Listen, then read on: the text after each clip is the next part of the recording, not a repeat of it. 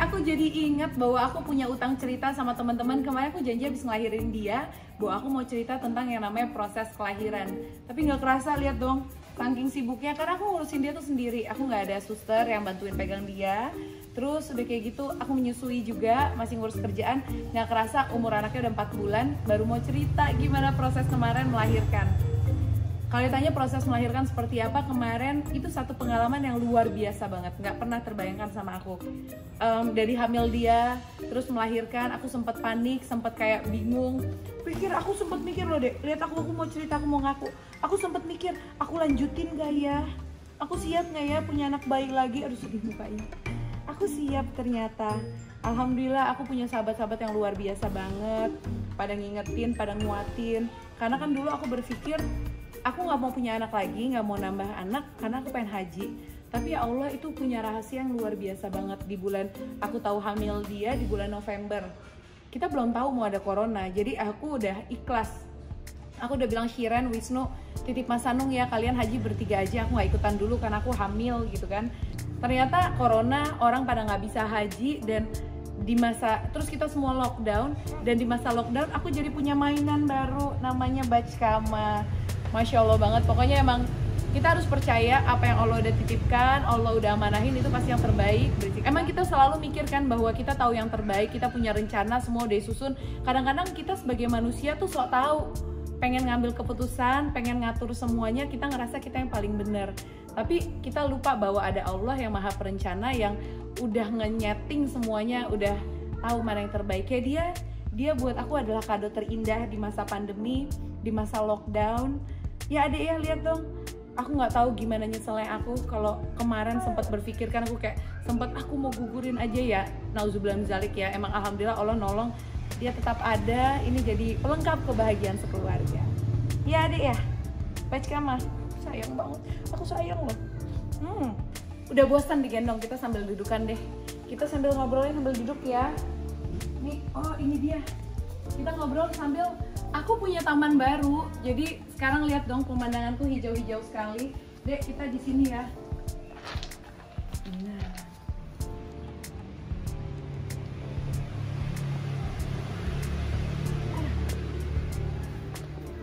Wah kita piknik. Lucu banget. Ini untung ya ada kasur ini buat uh, dari Bambi kasur lantai karena nyaman banget buat tidur tiduran gini Oke aku lanjut ceritanya. Akhirnya aku melahirkan di masa pandemi. Tahu nggak sih? Itu galau luar biasa. Aku nggak pernah melahirkan nggak didampingin sama mamaku Sama keluargaku yang di Jakarta. Dan aku terbiasa melahirkan di Jakarta dengan dokter andalan aku. Terus pas pandemi aku ke Jogja di bulan Maret. Di bulan Maret aku hamil 5 bulan aku nyetir sendiri. Ya oke lah masih nggak repot. Cuman pas udah hamil 9 bulan Aku mau balik ke Jakarta itu tuh jadi kayak mikir gimana hamil 9 bulan kalau aku kontraksi di jalan gimana? Terus punggungku udah pegel banget aku harus duduk 8 jam di mobil tuh kayaknya udah nggak sanggup banget. Akhirnya aku memutuskan untuk udah deh aku bismillah mau lahiran di Jogja aja. Memutuskan untuk lahiran di Jogja itu super drama guys. Karena mamaku ngamuk, mamaku nggak terima, mamaku ngambek. Ya karena kan mama pengen mendampingi aku gitu kan. Terus mama bilang kenapa kamu nggak sama dokter kamu yang biasa? Ya cuma situasinya nggak memungkinkan untuk aku balik Jakarta aku ikhtiar di Jogja terus terang nemuin ada dua dokter aku jatuh cinta. Tapi satu dokter itu dia jauh di daerah Bantul. Nah satu dokter aku cocok direkomendasi sama tetanggaku di tengah kota. Akhirnya aku memilih dokter yang di tengah kota dokter Nur Hadi. Kenapa akhirnya aku milih dokter Nur Hadi selain direkomendasi sama sahabatku sama tetanggaku yang dokter Objin juga?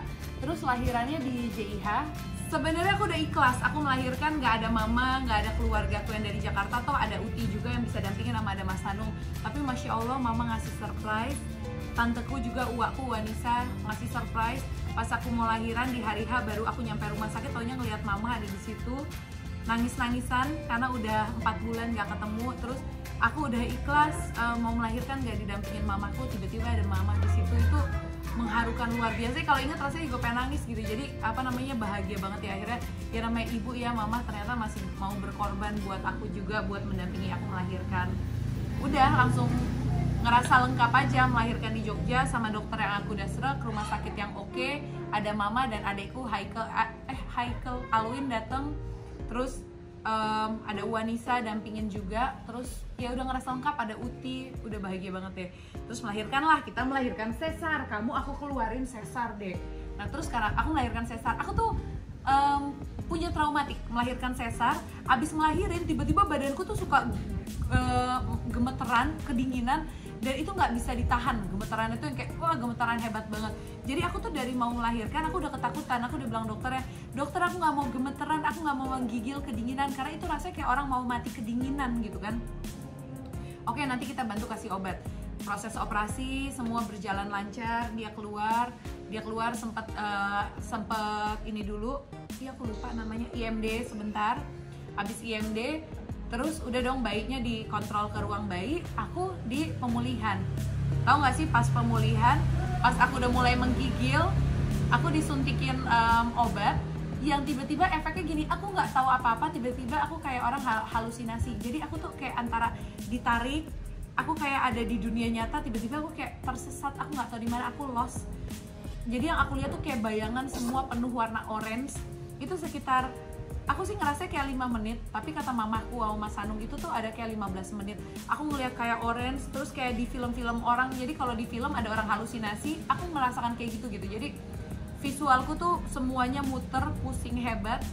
Orange aku kayak di satu ruangan yang gak tahu di mana. Terus ketika aku maksain buka mata aku bisa lihat Mas Hanung aku bisa lihat mama. Terus aku cuma nanya gini ini di mana? Aku di mana?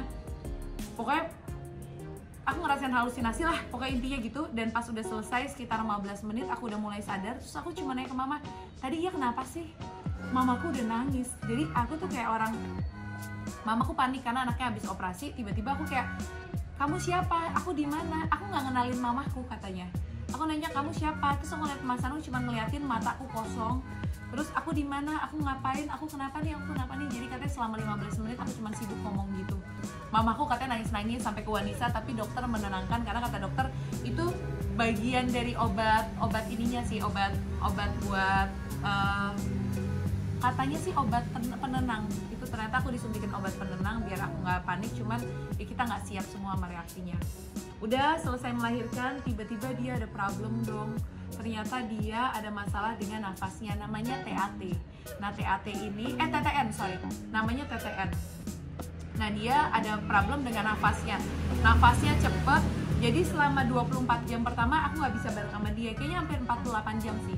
Hampir 48 jam aku nggak sama dia. Um, malam pertama nggak sama dia masih agak kerasa ya udah deh karena aku relax dulu aku istirahat dulu. Tapi pas sudah bangun tidur pagi aku baru sadar bayiku di mana ya? Aku lihat ruang bayi dia udah pakai selang sampai ke lambung terus dia udah pakai alat bantu nafas. Wah itu nggak karuan rasanya. Baru pengalaman pertama punya anak melahirkan si anaknya masuk ke inkubator terus dia harus pakai alat bantu nafas harus pakai selang di hari kedua sampai ke lambung untuk memasukkan asi itu rasanya nggak karuan tapi ya alhamdulillah sih karena aku lihat di sana banyak bayi-bayi ada enam bayi yang di situ jadi aku ngerasa wah aku nggak sendirian. Ada anak lain yang seperti ini bahkan ada anak yang sudah masuk jalan dua bulan. Di rumah sakit pakai alat bantu nafas dan udah pakai selang. Jadi aku pikir Saskia anak lo baru dua hari di sini baru satu hari deh baru satu hari kamu harus lebih kuat. Tuh banyak ibu-ibu yang lebih kuat ngadepinnya. Ya udah di situ itu cobaannya dua itu sih pas pasca melahirkannya sama lihat dia harus masuk inkubator anaknya ngantuk mau bobo siang. Kita pindah ke dalam yuk kita pindah ke dalam mau bobo siang. Sambil bobo. Ya aku lagi cerita soal kamu pas kamu lahir. Aku ceritanya udah ketelat 4 bulan. Nah di sini. Ini dia.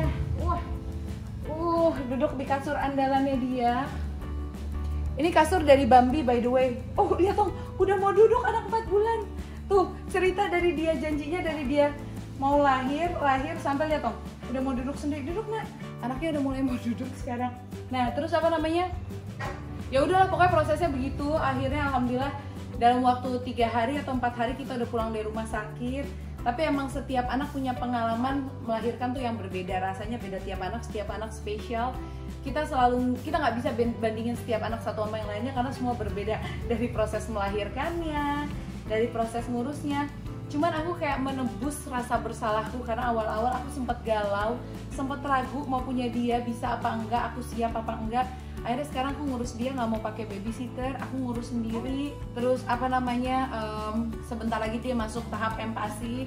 Semoga aku masih tetap sanggup sendiri karena udah harus mulai masak-masak aku buat kamu.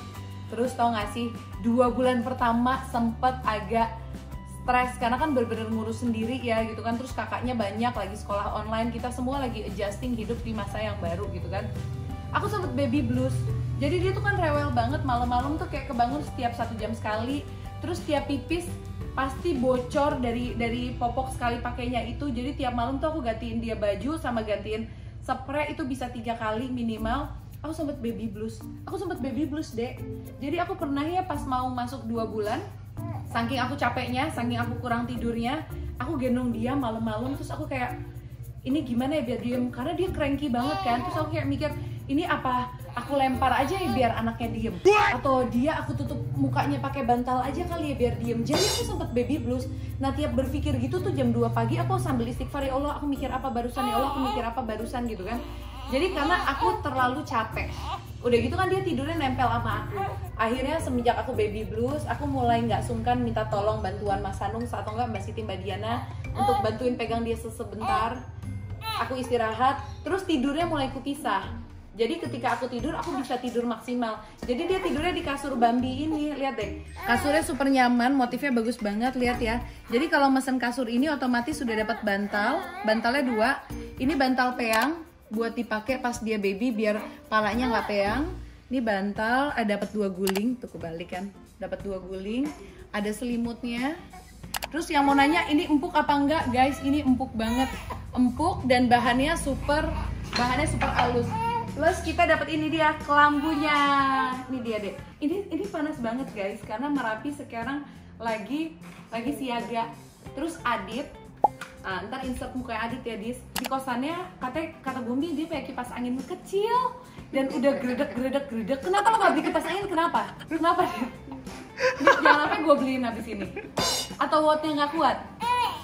Wattnya gak kuat biar Wattnya nggak kuat, jadi Adit ngekos sebulannya 300 ribu. Murah banget kan emang dasar laki. Padahal dia bisa aja ngekos yang lebih mahal. Cuman dia nyari yang lebih murah. Terus wattnya nggak kuat, cuman bisa katanya pakai kipas angin kecil yang udah gredek-gredek kata Bumi. Oke, selingan Om Adiknya udah nih pengen kasih tahu sih dikasih lihat. Adiknya kalau malam bobonya di kasur Bambi. Ini ngebantu banget. Oh sayang. Alhamdulillah si Bill udah bisa ngebantu untuk pegang bayi karena udah gede. Nah, ini adalah settingan tidur. Dia kalau tidur siang atau malam dan aku pengen bilang sama ibu-ibu semuanya, kita ketika lagi baru punya bayi, kita adjusting hidup bareng sama bayi dua bulan pertama itu nggak mudah itu sulit banget.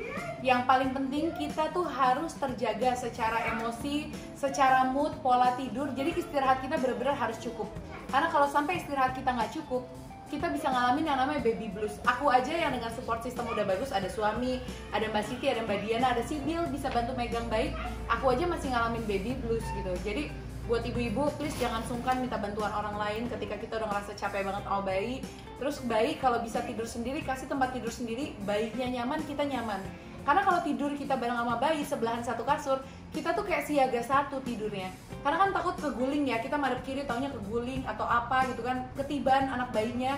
Itu bahaya banget nah kalau bayi tidur di kasurnya sendiri bayinya nyaman kita juga nyaman. Nah makanya aku suka banget sama yang Bambi ini. Ini harganya ekonomis bisa kepake lama ada kelambunya selimutnya bahannya semua nyaman banget buat bayi.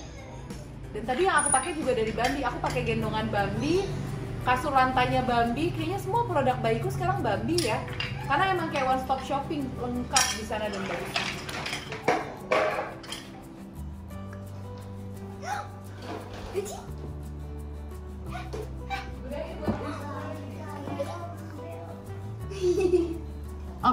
sekarang udah azan zuhur, saatnya aku sholat, aku juga mesti ngurusin bayi. Sekarang vlognya nggak bisa banyak-banyak karena aku ngurusin bayi. Ini dia tuh kan, udah dioper lagi. Emang gak lama dipegangin Sibil juga. Terima kasih tapi sudah membentak, membantu sebentar. Soalnya tadi dia nangis, aku Aku mau nidurin siang, aku mau sholat zuhur, ya.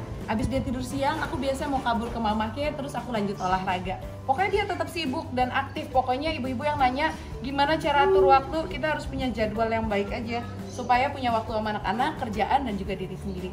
Dadah, assalamualaikum. Azannya makin kenceng. Bye.